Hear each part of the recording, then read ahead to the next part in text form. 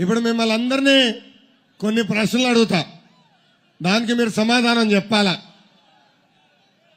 Psycho Jagan ప్రత్యేక విమానంలో ఢిల్లీకి వెళ్ళాడండి. ప్రత్యేక విమానంలో ఢిల్లీకి వెళ్ళాడు. ఎందుకు వెళ్ళాడు? మొదటి ఆప్షన్ చెప్పనండి మొదటి ఆప్షన్ బాబాయ్ హత్యలో అవినాష్ రెడ్డికి ప్రమేయం ఉందని ఏట్లో చేర్చింది సిబిఐ. అవినాష్ రెడ్డిని తప్పించేదానికి వెళ్ళాడా? మొదటి ఆప్షన్. రెండో ఆప్షన్ ఏ నైన్గా అదే చార్జ్ షీట్లో అంటే బాబాయ్ని చంపిన చార్జ్ షీట్లో ఏ నైన్గా జగన్ని పెడతారు అది తప్పించుకునేదానికి వెళ్ళాడా? మూడో ఆప్షన్ ఈ రోజు ఏకంగా సిబిఐ పెట్టిన చార్జ్ షీట్లో భారతిరెడ్డి గారి పేరు కూడా పెడతాం జరిగింది. సతీమణి భారతిరెడ్డి గారి పేరు తప్పించేదానికి ఢిల్లీకి వెళ్ళాడా? నాలుగో option all of the above తమ్ముడు వాళ్ళ గెస్ట్ చేశాడబ్బా. కింద నుంచి all of the above all of the above all of the above అంటున్నాడు. ఏనా? ఆప్షన్ ఒకటా రెండా మూడా నాలుగా. నాలుగా. ఆల్ ఆఫ్ ది అబో ఇప్పుడు అడుగుతున్నా ఇది ఎవరు రక్త చరిత్ర? ఎవరు రక్త చరిత్ర? జగనాసుడ రక్త చరిత్ర. పిన్ని పసుపు కుంకుమ చెరిపింది ఎవరు? జగన్. పిన్ని తాలిబొట్టు తెంపింది ఎవరు? జగన్. ఏకంగా చెల్లిని అవమానించింది ఎవరు? ఈ సైకో జగన్ ఈ సైకో జగన్ ఒక అద్భుతమైన కటింగ్ ఫిట్టింగ్ మాస్టర్ అండి. ఏంటది? Cutting fitting master. ఆయనకి రెండు బటన్లు ఉంటాయి. బల్ల పైన ఒక బటన్ ఉంటుంది బులుగు బటన్. బల్ల కింద ఒక ఎర్ర బటన్ ఉంటుంది. మీరు మీ కంపెనీదంతా బల్ల పైన బటన్ బులుగు బటన్. నొక్కుతాడు. అప్పుడప్పుడు పది రూపాయలు పడుతుంది. కానీ మీరు చూడండి ఎప్పుడు దొంగ చూపులు చూస్తాడు ఇట్లా అని. అదే క్షణంలో బల్ల కింద బటన్ నొక్కుతాడు అకౌంట్ నుంచి వంద రూపాయలు పోతుంది. కరెంటు ఛార్జీలు తొమ్మిది సార్లు పెంచి బాధుడే బాధుడు. ఆర్టీసీ ఛార్జీలు మూడు సార్లు పెంచి బాధుడే బాధుడు. ఇంటి పన్ను చెత్త పన్ను రేపో మాపో పీల్చే గాలి పైన కూడా పన్నేస్తాడు ఈ సైకో జగన్. నిత్యావసర సరుకుల ధరలు పెంచేశాడు ఆరు వందల యాభై రూపాయలకి దొరికే దొరికే గ్యాస్ బండ ఇప్పుడు పదమూడు వందల రూపాయలకి పెంచాడు. టొమా కేజీ టొమాటో ఎంత? నూట ఇరవై రూపాయలు. కేజీ పచ్చిమిరప ఎంత? వంద రూపాయలు. ఇట్లా ఈ సైకో జగన్ వంద రూపాయలు ప్రతి వాళ్ళ దగ్గర లాగేస్తాడు. మళ్ళీ కటింగ్ మాస్టర్ అని చెప్పినా కదా. ఇది క్వార్టర్ పట్ల? Boom boom. Andhra gold president medal. ముందు బాబుల పైన కూడా బాగా బాధుడే బాధుడు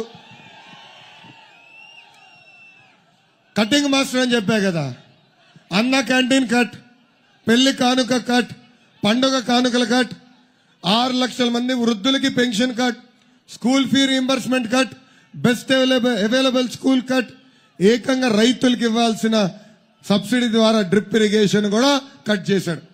ఇలా వంద సంక్షేమ కార్యక్రమాలు కట్ చేసిన ఏకైక ముఖ్యమంత్రి ఈ సైకో జగన్. ఈ సైకో జగన్ ఎన్నికల ముందల మహిళలకి మూడు హామీలు ఇచ్చారు. మొదటి హామీ నలభై ఐదు సంవత్సరాలు నిండిన ఎస్సీ ఎస్టీ బీసీ మైనారిటీ మహిళలకి పెన్షన్ ఇస్తా అన్నాడు.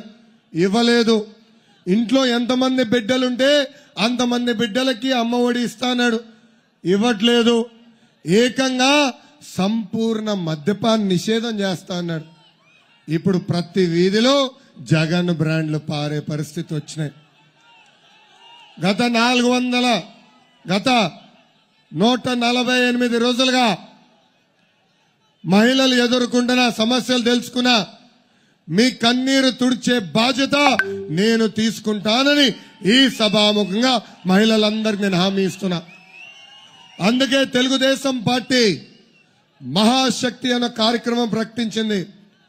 దాంట్లో మొదటిది ఆడబిడ్డ నిధి పద్దెనిమిది సంవత్సరాల నుంచి యాభై తొమ్మిది సంవత్సరాలు నిండిన మహిళలకి ప్రతి నెల పదిహేను వందల రూపాయలు చంద్రబాబు నాయుడు గారు మీ అకౌంట్లో ఇవ్వబోతున్నారు అంటే సంవత్సరానికి పద్దెనిమిది వేలు ఐదు సంవత్సరాలకి తొంభై వేల రూపాయలు చంద్రబాబు నాయుడు గారు మహిళల అకౌంట్లో ఇవ్వబోతున్నారు. రెండోది తల్లికి వందనం. చాలామంది చెప్పారు అన్నా ఇంట్లో మాకు ఇద్దరు ముగ్గురు పిల్లలు ఉన్నారు కానీ అమ్మ ఒడి ఒకరికే వేస్తున్నారు. మేం నిర్ణయం తీసుకోవాల్సి వస్తుంది. ఏ బిడ్డని చదివించాలి ఏ బిడ్డని ఇంట్లో పెట్టాలి.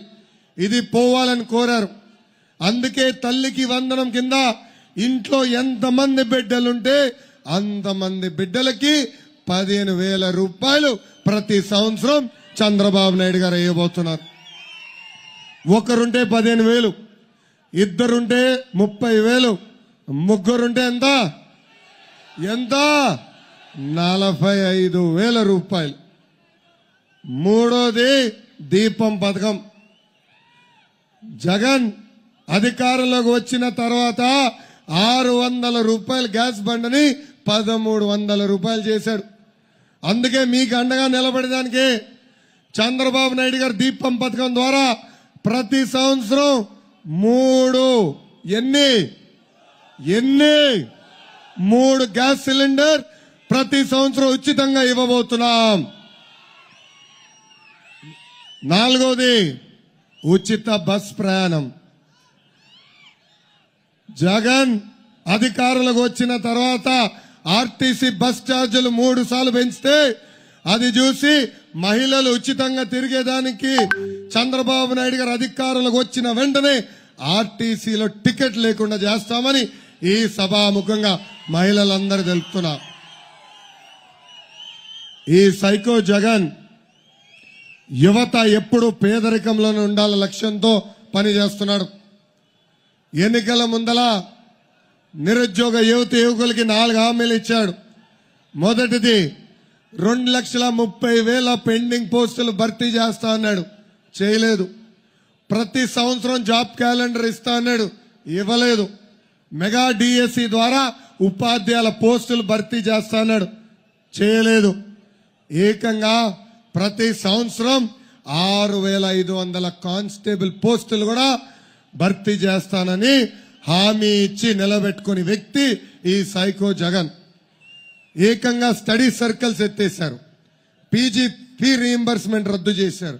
విదేశీ విద్య కూడా ఈ ప్రభుత్వం తీసేసింది.